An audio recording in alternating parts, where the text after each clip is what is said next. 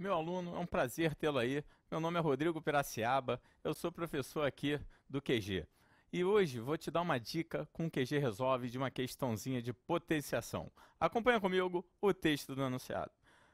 Dentre outros objetivos de pesquisa, a alometria estuda a relação entre medidas de diferentes partes do corpo humano. Por exemplo, segundo a alometria, a área A da superfície corporal de uma pessoa relaciona-se com a massa m pela fórmula A é igual a K vezes m elevado a 2 terços, em que K é uma constante positiva. Se no período que vai da infância até a maioridade de um indivíduo, sua massa é multiplicada por 8, por quanto será multiplicada a área da superfície corporal? Minha turma, me ajuda demais.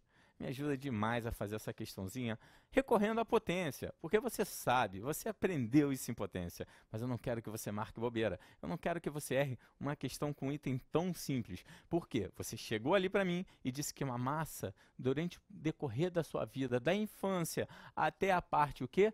adulta, foi multiplicada por quanto? Multiplicada por quanto? Por 8. Isso foi multiplicado por 8. Olha o que, que a gente vai poder fazer junto. Acompanha comigo. A solução dessa questão. A massa, cheguei lá na fórmula, A é igual a K vezes M elevado a 2 terços. Aí eu vou pegar na infância, na infância, e vou dizer que a massa dela era X. Não sei quanto que era a massa dela. X. Ô, oh, turma. Então, aonde está o Mzinho, vai entrar X. Você passou a ter. Aí, o que, que é isso aqui? A área na infância igual a K, que era a nossa constante, vezes, no lugar do M, entrou quanto aqui para você? X elevado a 2 terços. Porém, o que, que você acabou de montar comigo? A primeira parte da área. A área, quando ele ainda estava na o quê? Na infância. E agora? Eu vou tentar que você me ajude a área quando ele está na maioridade. Mas não esquece, a maioridade, quando ele chega na maioridade, a massa é M. É quantas vezes? 8M. Parabéns! E se a massa é 8M, você vai fazer tudo de novo. Mas só que, em vez de chamar de X, você vai chamar de quê? 8X. Acompanhe a solução.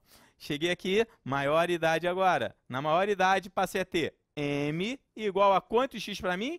8. Então, temos a área na maioridade igual a quanto? K vezes, no lugar do Mzinho, você não vai colocar X, colocou 8x e aonde um monte de gente marca bobeira. E aonde que o meu aluno que aprendeu lá a potenciação não pode esquecer. A vezes B elevado a uma, um expoente qualquer. A vezes B elevado a K vai ficar como? A elevado a K vezes o quê? Excelente. B elevado a K. Então, eu quero contar com a sua ajuda e compreensão.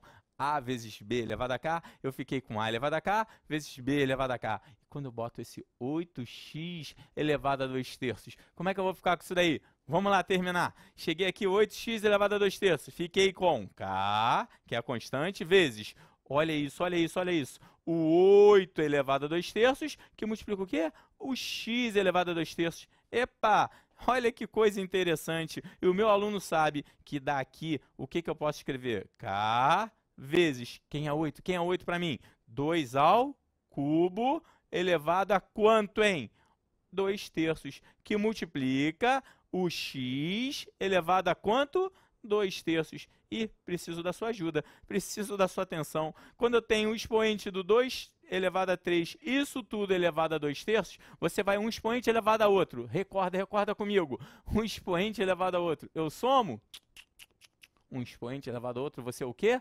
Multiplica. E se você vai multiplicar ali, olha isso, você vai pegar 2 terços elevado, perdão, 2 elevado a 3, isso tudo elevado a 2 terços. Como é que vai ficar aqui? Vai ficar 2 elevado a quanto? Corto 3 com 3, vai dar 2 ao quadrado. K vezes 2 ao quadrado, vezes x elevado ao quê? 2 terços. Ô, oh, turma, o meu aluno 2 ao quadrado, você sabe quanto é. Quanto que é 2 ao quadrado? 4. Então, passei a ter 4, que multiplica k vezes x elevado a 2 terços. E, olha, que coisa, hein? Isso aqui, isso aqui, você já tinha. Como eu já tinha, Rodrigo? Isso aqui era a área da infância. Logo, você acabou de concluir que a área da maioridade é quantas vezes a sua área da infância? Quatro vezes. Nesse exato momento, eu espero que você tenha entendido a nossa solução. Ó, oh, não esquece, não esquece. Vai lá no QG e vê o curso completo, o curso completo do intensivo, que com certeza ele vai te ajudar não só a fazer essa questão, como muitas outras.